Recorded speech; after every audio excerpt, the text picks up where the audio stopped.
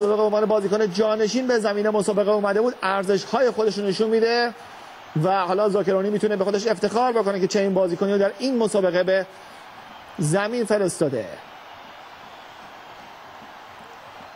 نمایی از نیمکت تیم استرالیا به خاطر بخت هایی که اون دست دادن شاید ناراحت باشن اما ببینید این حرکت رو. همون بازیکنی که از خط دفاع جدا شد و جلو رفت این پاس گل رو داد.